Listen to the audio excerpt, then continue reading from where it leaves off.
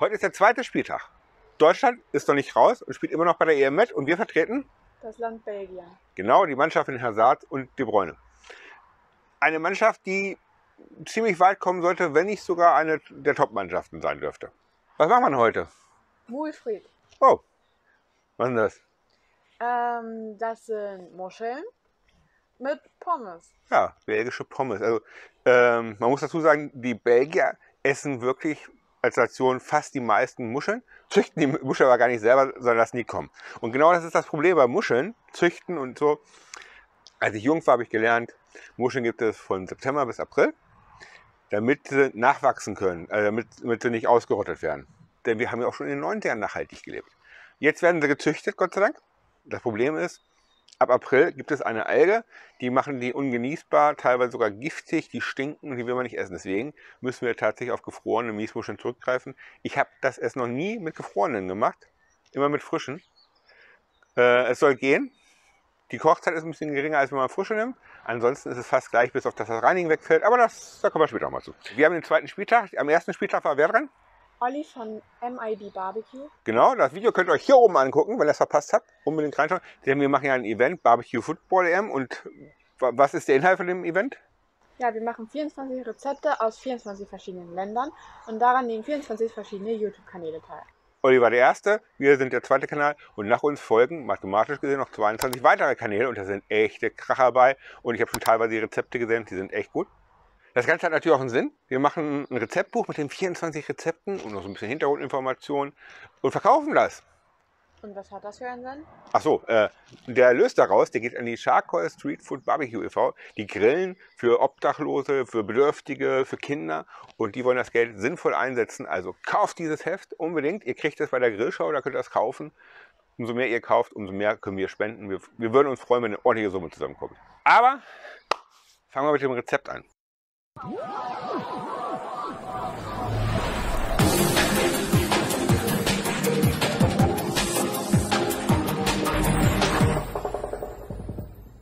Wir haben mehlig kochende Kartoffeln. Die sind schon geschält, wie man sieht. Die kommen nicht so aus der Erde. Das Ganze schneide ich heute auf dem Brett vom Pitblock. Und am Ende, nach dem ganzen Event, da gibt es was für euch zu gewinnen. Und zwar ordentlich viel. Ähm, unter anderem gibt es so ein herrliches Brett vom Pitblock zu gewinnen. Deswegen schreiben wir irgendwann hier ein Gewinnwort. Das sieht dann ungefähr so aus. Aber das ist es nicht. Das tut er später. Und die Wörter müsst ihr zusammensetzen und uns einschicken. Und zwar an diese E-Mail-Adresse. Das seht ihr aber auch alles nochmal im Infoblog. Also Infoblog aufklappen, durchlesen. Da seht ihr auch, wer alles mitmacht und wann wer mitmacht. Schön der Reihe nach alles aufschreiben. Und es gibt so viele Gewinne, da hat man gute Chancen, was zu gewinnen. Unter anderem dieses Brett. So, jetzt fangen wir mit den Kartoffeln an.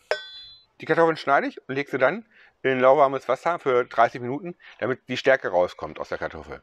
Denn die Stärke wollen wir in der Kartoffel nicht haben, dann wird die Pommes nicht so schön. Wir wollen ja belgische, original belgische Pommes haben. Und da macht man das so. Das machen wir auch.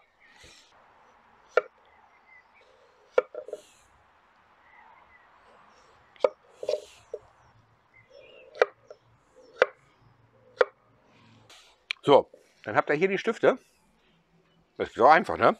Wenn ihr viele Kartoffeln habt und keine Lust habt, dann nimmt einfach ein Hilfsmittel, das mache ich. Da tut man die Kartoffel einfach drauf, macht das Ding runter, also auf dass die Kartoffel nicht wegrutscht und dann tada! Und dann hat man auch wunderbar gleichmäßige Kartoffeln. Das waren die Vorbereitungen für die Kartoffeln und dann ist Meka dran. Ich mache jetzt die belgische Mayonnaise. Dafür gebe ich jetzt als erstes Eigelb rein. Öl. Das ist eine Mischung aus Olivenöl und Rapsöl. Cayennepfeffer. Dijon-Senf. Und zwei Esslöffel vom Saft einer Zitrone. Jetzt gehe ich rein und ziehe es langsam hoch.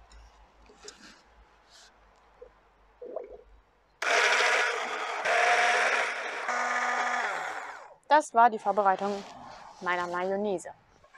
Ich schaue jetzt nach, wie die Mayonnaise schmeckt.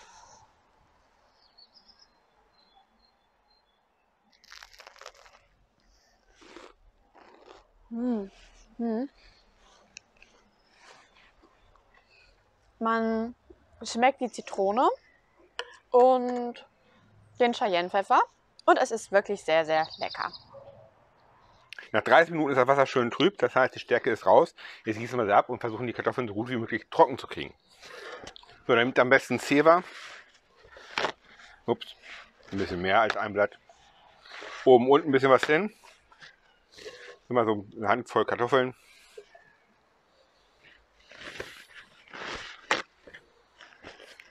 Schön trocken tupfen. Weil Wasser und Fett verträgt sich nicht so gut und ihr wollt kein Wasser dran haben.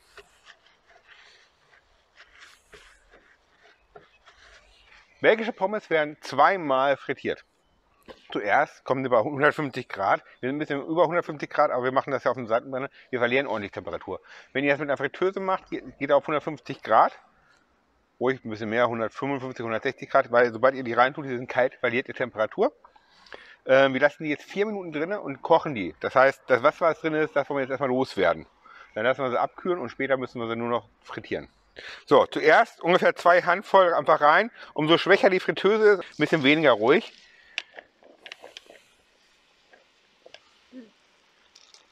Und das Ganze vier Minuten kochen lassen. Ruhig mal kontrollieren, wie die Temperatur ist. Und wenn er zu viel Temperatur verliert, einfach die Temperatur erhöhen, damit er wieder auf 150 kommt und die vier Minuten auch wirklich bei 150 durchpowert. Übrigens, wir machen das im Dutch Ofen und zwar von Grill More. Grill More spendiert auch für die Verlosung drei Gutscheine a 100 Euro. Und das hier ist immer noch nicht das Passwort. Äh, wenn, wenn nicht so viel verloren gehen soll, einfach Decke drauf, dann bleibt die jetzt auch besser drin. Wir machen das Ganze heute auf unseren Grill More Grill, auf unseren Zunder. Die haben ja was dazugegeben, wie ich schon gesagt habe. Und es gibt noch mehr zu gewinnen. Es gibt noch zwei Gasgrille zu gewinnen, und zwar von Bernhard und von Napoleon. Ich meine, das sind jetzt wirklich Kracher, wo man echt sagen muss, da mache ich mit. So, vier Minuten sind um und wir holen sie mal raus.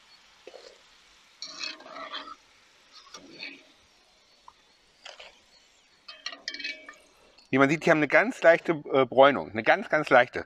Und genauso sollten sie sein, damit sie nachher schön knusprig sind. Jetzt legen wir das zur Seite, die müssen abkühlen und wir machen in der Zwischenzeit die restlichen. Übrigens als Öl nehmen wir Erdnussöl. Das macht man in Belgien so und das gibt der Pommes nochmal den besonderen Geschmack. So, während die Pommes jetzt 30 Minuten abkühlen, kümmere ich mich schon mal ein bisschen um die Muscheln. Wie gesagt, wir haben gefrorene. Ähm, der Vorteil ist eigentlich davon, die sind schon recht sauber. Es sind aber immer noch so ein paar Bärte drin, die will man nicht haben. Da sollte man mal durchgucken. Ja, also einfach die Bärte, man kriegt die hier gut, gut raus. Die sind auch noch fast im gefrorenen Zustand. Normalerweise müsstet ihr die waschen und dann guckt danach, wo Blasen aufsteigen, die leben bei den Muscheln und die, wo keine Blasen aufsteigen, die leben nicht, beziehungsweise ihr drückt mal drauf und wenn sie zubleiben, leben sie und dann könnt ihr sie essen, weil die Toten sollte man nicht so essen. Das habt ihr bei den gefrorenen Gott sei Dank nicht. Einfach mal durchgehen, so ein bisschen die Bärte wegmachen. Wenn ihr euch stört, dass hier noch was drauf ist, geht einfach so mit der Rückseite vom Messer dran und dann guckt ihr, dass ihr so ein bisschen Hebel habt so, von hier, dann kriegt er da recht gut ab.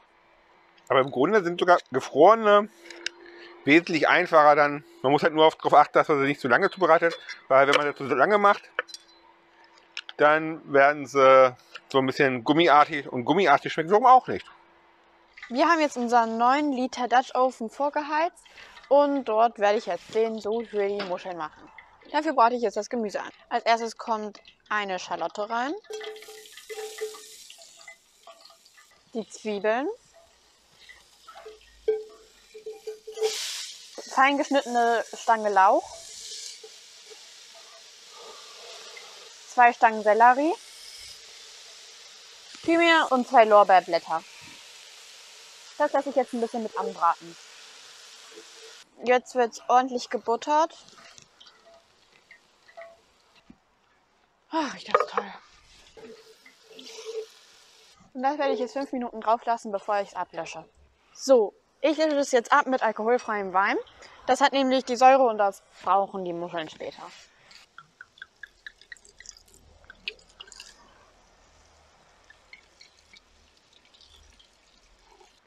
Ab hier übernehme ich die Muscheln, weil die Muscheln müssen in der Zeit, währenddessen die gekocht werden, da kommt gleich der Deckel drauf, dreimal durchgeschüttelt werden. Und der Topf ist ziemlich schwer, den könnte Mika nicht schütteln. Ich gebe die Muscheln rein und die sollen fünf Minuten drinnen bleiben. Und dann noch ein bisschen unterrühren.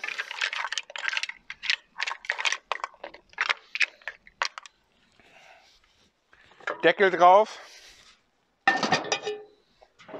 Zuklappen, ein bisschen ruhen lassen und dann so in zwei Minuten einmal öffnen, durchschütteln und das machen wir dreimal.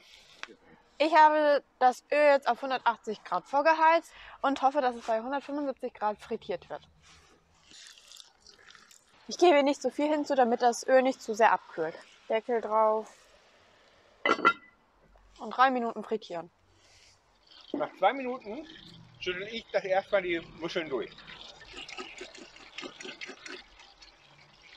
Dann stelle ich sie da hin und zwei Minuten später nochmal. Pommes sind fertig, ich hole sie jetzt raus. Die haben echt eine echt gute Farbe bekommen. Dann noch einmal schütteln. Mal reinschauen. Oh, hm, das riecht echt gut. Also es riecht wirklich klasse. Äh, die Muscheln sind offen. Die sind fertig.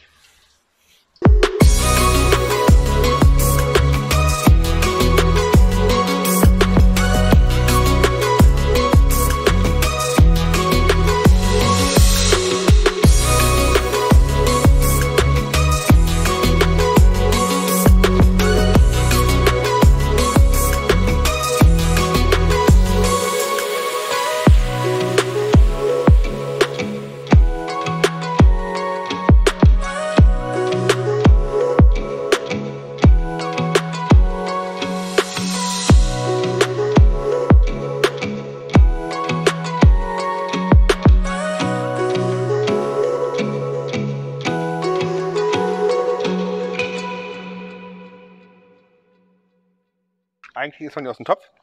Ich würde jetzt den Topf hinstellen und direkt aus dem Topf essen. Aber ich hole sie mal raus und oh, die sehen echt gut aus. Lasst den Sud drin, ein bisschen Gemüse ihr dabei haben. Also sehen richtig spitzenmäßig aus. Und die duften herrlich. Auf die Pommes kommt jetzt noch Salz drauf. Mehr nicht, das war's. Da ist unser. Mulfried. Wir sind fertig. Es sieht köstlich aus. Wir gucken mal, ob es so schmeckt, wie es aussieht. Du weißt, wie man es isst. Ne? Man nimmt einmal, man braucht einmal eine Schale. Also einmal nimmt man sich da Fleisch einfach raus. Und dann. Oh.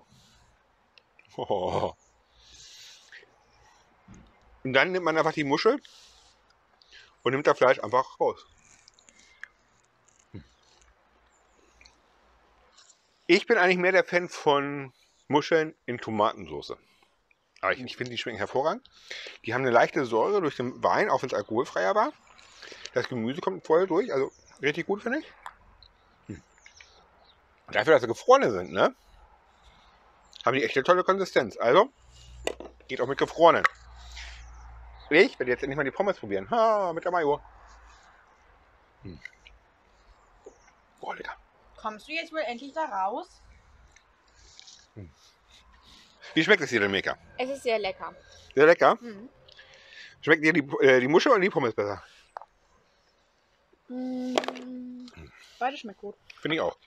Also die haben echt den Geschmack gut aufgenommen.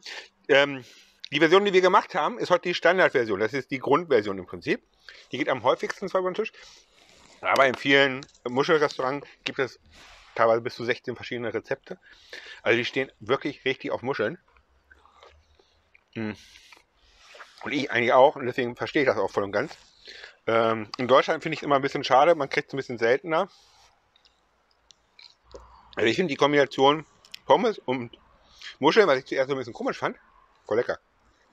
Das da unten ist übrigens das richtige Wort, was ihr braucht für das Gewinnspiel. Ach, das ist ja. Worauf ich richtig stehe, ist unten der Sud, der drin ist. An dem man nicht so nicht so gut rankommt. Aber wir haben ja den Topf. Ich hole mal ein bisschen Sud für mich. Denn, un- denn unten drin hat man dann immer den Sud und der mit Brot. Ich habe den Deckel wieder zugemacht. Wir müssen auch noch Muscheln machen. Richtig lecker, die leichte Säure durch den Wein. Es gibt nichts besser, als das später mit Brot dann so ein bisschen aufzudippen. Oder mit Pommes. Das ist übrigens ein arme Leute essen. Das haben damals die Arbeiter in Belgien gegessen. Und das hat sich dann so durchgesetzt, das ist ein Nationalgericht geworden. Es ist günstig, es ist auch heute in Deutschland noch günstig. Hm. Und es ist eigentlich schnell gemacht. Und es ist so lecker. Ey, wo ist mein Fleisch? Das habe ich, glaube ich, vorhin gegessen. Das lag da so doof rum. Das war unser Beitrag für die Barbecue Football EM. Es war unwahrscheinlich lecker. Äh, Es ist eigentlich recht einfach gemacht und ich würde jedem empfehlen, der einigermaßen Muscheln macht, macht das mal nach. Äh, Morgen geht es für euch weiter hier oben bei der, der Feuerküche. Die machen das nächste Rezept. Hier unten habt ihr unser Muschelrezept. Ähm, hier habt ihr ein weiteres Video. Hier könnt ihr ein Abo abschließen und hier unten die Glocke aktivieren, wisst ihr immer, wann es neue leckere Videos von uns gibt. Und damit sind wir raus und wünschen euch weiterhin viel Spaß beim Event.